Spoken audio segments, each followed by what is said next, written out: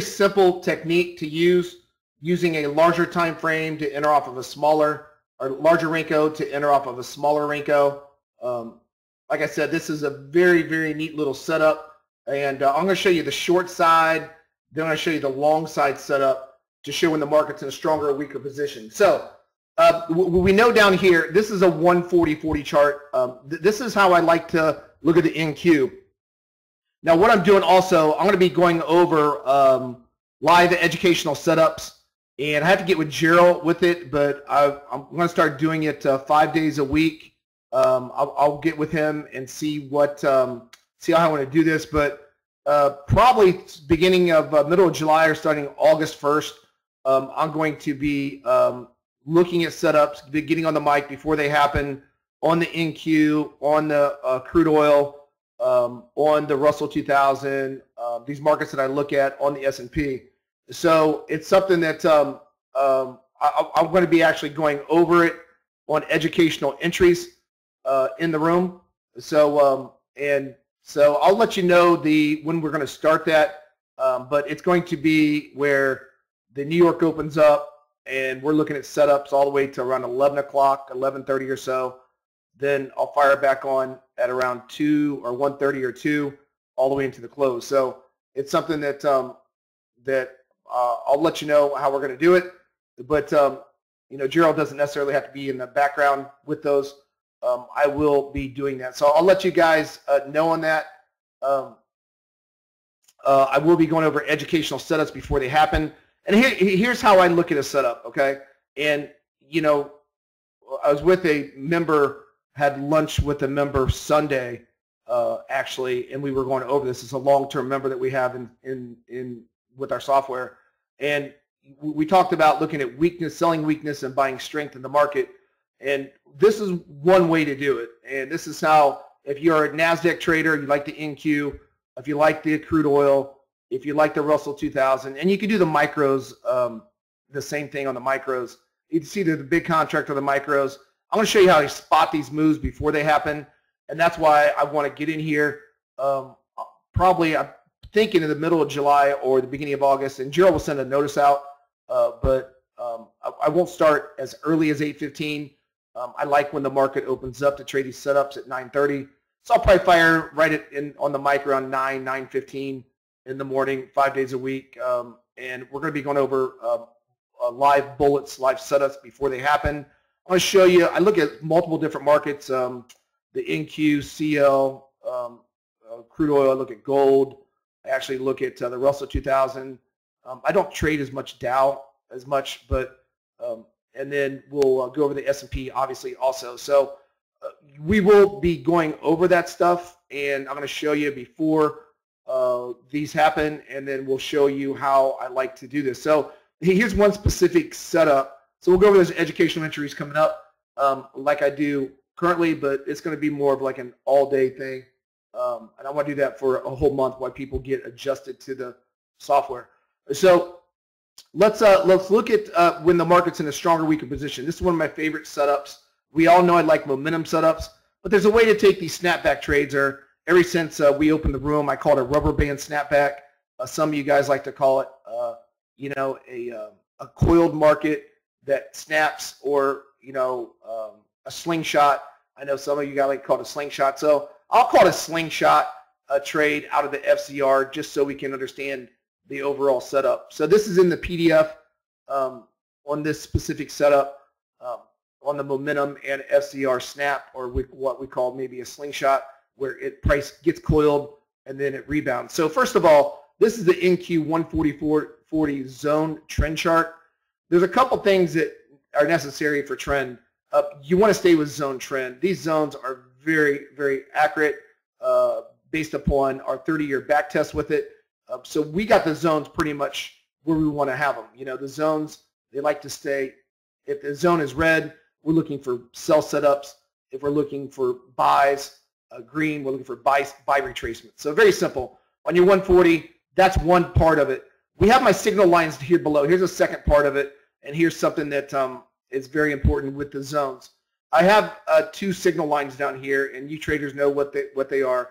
Um, when they both over overlap of each other, uh, meaning if you get your smaller signal line and your larger signal line and they're overlapping. So right at this inflection point, right where my cursor's at, when that is overlapping, you have hard trend in place with zone. If you are if you are red zone on a 140-40, you're in the weakest position of the market right here for short setups. So yesterday, and I'll show you how to enter on these trades. Yesterday from 3 o'clock to 307, you're in the weakest part of the market. And this is where the market just tanked. Vice versa, when we turn green zone and, and both overlapped, both signal lines overlapped and they're pegged above, you're in the strongest part of the market, meaning you're in the strongest position in the market. I call it a stronger position or a weaker position. I have a lot of setups like this in the PDF that I did for you guys. So this is one of my one of my favorite setups. Now, what I like to do on the NQ, and I like, uh, and other markets vary obviously with with with frames, but 140 is a really good zone for trend. You know, not so great if you're looking for smaller stops for entry, but what you do is you look for the trend on the NQ 140, and I'm going to show you the 125, 125 for entries with this trend. So what we want to try to do when the market is red zone, and you see the market just going down, and my two signal lines are pegged, and they'll be pegged all the way on top of each other. You'll see them sandwiched on top of each other. That's why I like to overlay on top of each other. You're in a hard trend down. This is the weakest position of the market.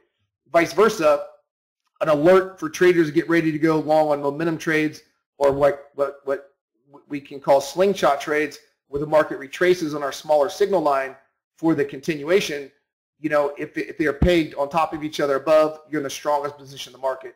So this is the PDF I want to, uh, that I'll come out with an updated software you guys are getting this weekend that I want to make sure you understand the setup. So my favorite setups, and um, uh, it's a neat way to understand to keep you on the right side of the market. So that's the first thing. So let's just look at example when the market's in a downtrend. We got both signal lines pegged below, both signal lines pegged above. So when we're looking for entries then, then what we need to do is we need to go to a smaller Renko chart. Now the smaller Renko chart will allow us to have smaller stops, obviously, but it allows us to get a retracement. This is such a long Renko chart. You see we're all red, red Renkos all the way down. You have no idea when to short this market anywhere down through here and where to buy the market anywhere up through here. So you're sort of stuck trying to figure out if you just trade off this chart where to sell this retracement or to buy this retracement. So what we can do is we go to a smaller Renko. Now this is what I'd like to use. I'd like to use the 140 and the 125 together. Now the one here's the here's where the market was in a downtrend. let's go back to this one first. So here we started, right? Here we started at 1501. Started this weaker position all the way to 1507. And then the stronger position was 1508 all the way to 15, almost what, 22. So when it's in the weaker position, you want to start focusing when those oscillators uh, overlap, our signal lines overlap, and our zone is down. Now we're going to look for the slingshot momentum setups. Now this is what you want to do here. So 501 is here. Here's where we got the trend change on the 140. So the 140 trend changes here. You immediately see the market goes into a weaker position on the 125, 125. This is the 125, 125 on the on the NASDAQ. I don't like going smaller than this on the NASDAQ, like the 120 or the 113. It's way too fast a price action, and it gives you a lot of false different moves. I like the 125 or 130 if you're going to do this against the 140 trend. But if you look, both signal lines got over top each other. They are sandwiched. They are directly right on top of each other, and they are sandwiched for a hard trend down. The market starts moving down. Now we're already down on the 140. You can see it just cranking down, red, red, red, red, red, zone, red. We're pegged on the signal line, and this is what you want to watch for. I like putting these charts beside each other. So you're pegged on the signal line, and this is something I'm going to do when I call these educational trades out before they come out on these various different markets. What I like to see is I like to see it pegged all the way down below or pegged all the way up. And I'm going to say if you're in a stronger weaker position in that market, let's look for the slingshot uh, FZR or the momentum setup. That's what's going to set the trade up. And if you watch this setup, if you just set this trade up on your own chart today, you're going to see the NQ has around five to five to 10 trades a day like this from 9.30 to 4 o'clock. Um, some of them are, are you, you, look at them, you're like, wow, that's pretty impressive. They are they're, they're neat. So um, you know, you'll have to look at that um, after we get done with this video and check it out. But so here's yesterday. We're in a weaker position on the 140. We're in a weaker position also on the 125. Market starts cranking down.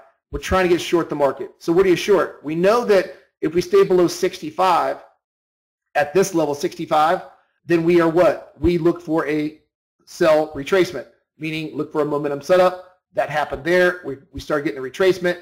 Is it below my shallow zone? Yes, it is.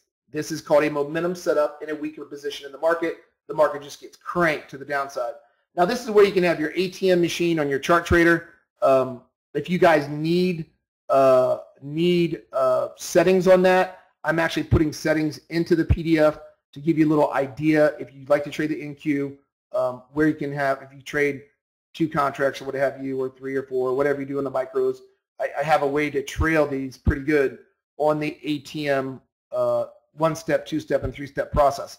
So just throw me an email, or actually no, I'll just put in the PDF for you guys so you can have an idea of, and you can adjust the way you want to adjust it. Right here, you take the first off, break even plus one will come. After I get 20 ticks, I go break even plus one, and then it just trails automatically until it gets stopped out. So that's the first trade right there. That is called a Momo. These are the trades I'm going to go over. It's, they're very simple to see. They're, way, they're a very leading indicator on my zones leading indicator down here on my signal lines, how I like to use them. We use the signal lines totally different than what the market uses. I don't look for overbought, oversoldness. Uh, that's where counter trend traders get caught. I look, I look to sell. I'm looking to short low, buy lower, buy a high, sell higher, which is totally counter uh, uh, counter of the way that the public does. So we don't like to counter trend trade the market. So there's the Momo. Then we get, and this is what's called a slingshot. This is where the market slings up. Now, now here's a great way to do this. And now you, can, you guys can adjust it how you want to adjust it. So that's my Momo, right? Our trend's still down all the way. So you can see on the 140.40, my trend's still down till what, 1507. So we got 1507 to keep selling retracements. I mean, we are pegs out. So here at 1507 is the end of the cycle. So 15, almost 1508, all the way over here. So we can still keep selling retracements. All right, so we, we come up to the next setup. The oscillator, this is called a slingshot. The market's pegged down, right? We are pegged. Both are both uh, signal lines are on top of each other on the on the longer 140-40, and it's pegged right here down also. Watch the smaller signal line come up. It must get above 80 for a slingshot. It has to get above 80. Once it gets above 80, it must get back below 40. Once it goes below 40, you have a momentum slingshot trade in the market. Why 40? Well, we already know that I've, you guys seen hundreds and hundreds and hundreds of trades that I send out um, on my setup, on my momentum setup. I love 40 and I love below 65 for sells, below 40, 40 for buys. Well, what happens is if this market, because the market will do this, and you can see when trend changes come. So let's say the market starts going down like this, right? On a retrace, starts going down and it starts going down on my on my signal line also. Right? It starts going down and then it comes down to 40. And all of a sudden you get a green bar reversal. For you traders that trade the software with a little bit more experience, that's a buy setup and that's a trend change possibly going through changing before it even trend changes on here. Why? Because the oscillator stayed above 40, my signal line. So you can pretty much see if it turns a green bar here, and I'm saying above 40, that's a good shot at the market. Stop loss two ticks below the swing low or two two candles back. It should shoot right straight through. And we're going to go over this in some in, in, in live trading as it as it works, and I'll show you examples. But what we want to do, the reason I say break 40 on a slingshot is that we don't want it to come down to 40 and bounce because it happens. You'll see it come up to this zone. You'll get a green bar reversal, a red bar reversal. A green bar will come in. It'll hit 40 in a stronger position and it'll crank up and it'll just trend change. So this way, this technique, or the way I like to do it, is once it shoots through this 40, 20 zone, you are you you got a momentum snapback trade. All right. If you get in earlier, what I'm finding with this setup, if you try to time it earlier and you try to get in right when it crosses below 80, this could trend change on you and come down to 40, trend change, and shoot right through. So I like it actually breaking 40 on a slingshot sell, and then I like it breaking through 65 on a buy. I'll show you the buy setup next, okay? So that was a slingshot trade. We'll call it a slingshot. Make sure, because you're, the, the, the, the signal line is slinging up and then slinging back down. And make sure your zone is intact. Your zone, you don't want to go into a deeper zone. I mean, outside of the uh, outside zone, because then you are going to get into some trouble because it possibly can trend change. So you'll see them come up here. You'll see around, like I said, five to 10 trades a day like this. Um, you know, some less, some more, uh, depending on the day. But you'll see some of the largest runners of the day, no matter what market you trade. I don't care what market you look at, it has this type of setup. It has these two characteristics. You got big zone down on larger Renko. You get, you're pegged below uh, a zero, and you're pegged above 100. So, and then you have the retracement on the smaller Renko size to fire in like this also. And I'll go over the S&P in a second also. So that's the NASDAQ. That's what you look on the NASDAQ today. Let's look at the buy setup. The buy setup is just the opposite. Now I'm in a stronger position, right? Uh, both signal lines where my crosshair is, uh, they're right on top of each other. They're, they are right exactly on top of each other. I'm talking right at 100. It's pegged at 100. Stronger position, look for buy setups. Well, this is a larger Renko size, so you're going to incorporate larger stops so we can check down to a smaller Renko. So let's take out, look at the time frame yesterday, 1508 until, what, 1521. You're looking for buy setups on the smaller Renko. So 1508 to 1521, there we trend change. So here, 1508, right here, to 1521, we're looking for buy setups because we're pegged on our larger frame, larger Renko. Here's 1521. We're looking for biceps all the way to there. So this is this is our this is our time window of opportunity right here. So as we start moving up, all right, here's a slingshot right here. As we, this is when it started trend changing right here. Here's your first slingshot right here. Your slingshot, you're in your zone. The zone's got to be green. They got to match green for green, red for red.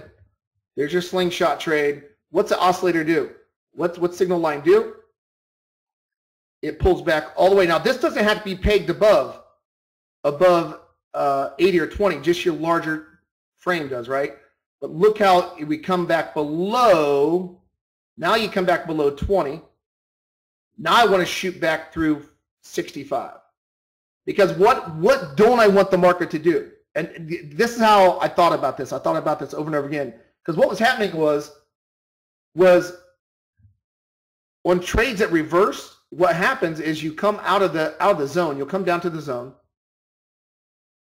and you'll bounce out of the zone, right, with a green bar reversal. And then all of a sudden, a red bar reversal closes, and it shoots right through the low, and it trend changes.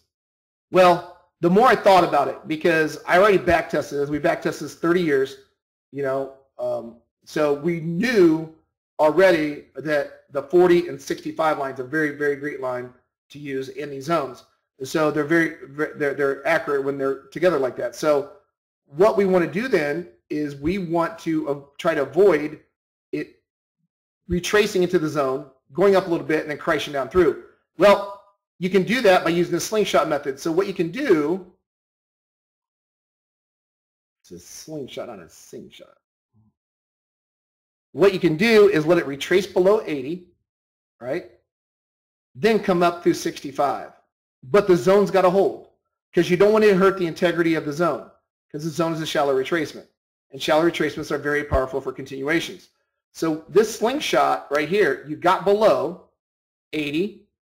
Right there when you cross this 65, you're buying high, higher, but you're looking for the continuation move because you don't want to get caught in a trend change right? So the more I thought about this, and I kept, and then I apply, I applied it to the charts. It's one of my favorite setups because what I'm doing is, is I'm allowing the 40 and 65 to be my momentum buys. I'm also allowing them to show me when a failure is going to come in place. So what I'm doing is I'm, I'm, I'm, I'm letting the market confirm the breakout of 65 for the continuation. So then we had a momentum trade here momentum trade here, momentum trade there. So you had a slingshot, Momo, Momo, Momo. These are all arrows that fired, and you have your audible alert go on on your computer. But that slingshot started all. Your entry was right there on the first uh, first break of 65. So your entry would be here, right there on the slingshot. Not the first green bar reversal. Because we want to get above 65 for momentum. We want to get below 40 on momentum. Okay? So my favorite setups using the one, if you want to look at the NQ, set up a 140-40 for stronger and weaker positions. Immediately check down to the 125-25 and you only need to look for two setups. You need to look for the slingshot or the momentum setup. The slingshot is basically an FZR momentum play. Even if they come down inside the zone, the slingshots still are effective because it can come down to the zone for a slingshot and still be good. Because I can come all the way down here as long as I get through 65 because I know I have a high probability of not getting a trend change. All right, so I have this in the PDF. A lot of examples. Works on all markets right across the board. It doesn't matter what markets. You know, it just doesn't matter. If I look at crude oil, one of my favorite markets yesterday, it was on fire yesterday. If I look at crude, it was in a strong position to take retracements. This is your strong position right there. When you are pegged, you had plenty of retracements all the way up. I mean, that was from 67.86 to 69.49 almost 60, what, 65 ticks. Same way here in the morning. You get the same type of opportunity. So I look at those first to let me know. And it doesn't matter what market you trade. Uh, works really good on the Russell 2000 also. Love the Russell 2000. If you trade the micros. Here this morning, you, be, you better be buying the Russell 2000 this morning. You better be buying it. If you're selling it, you're on the wrong side of the market. Look how my signal line is pegged on my 40. My zones are up. You want to look for buy retracements, momentum on smaller Renkos. I like the 125-25. It's one of my favorite charts because it doesn't give a lot of false signals. Um, but to each his own how you want to do it. But you can see it's stronger, weaker position. You know, when you see these, uh, you know, yesterday at 9.30 at the open, we, we had some beautiful sell setups off that also. So, like I said, it doesn't matter what uh, markets you look at, you can see if a market's in a stronger or weaker position. Gold does the same thing. Uh, doesn't matter what markets I look at through here. You know, gold, same exact type of scenario. You know, gold this morning, you better be shorting gold this morning. If you're not shorting gold, you're on the wrong side of the market. Look at the 831 all the way to 830, what, 8. Look at that potential on gold. I mean, you had 913 move I'm sorry, 913, all the way potential down to 906. You know, so just a beautiful move on gold, and it kept you on the right side of the market. So, yeah, that's what I'm going to be. I'm going to show you how to stay in a stronger, weaker position in the market.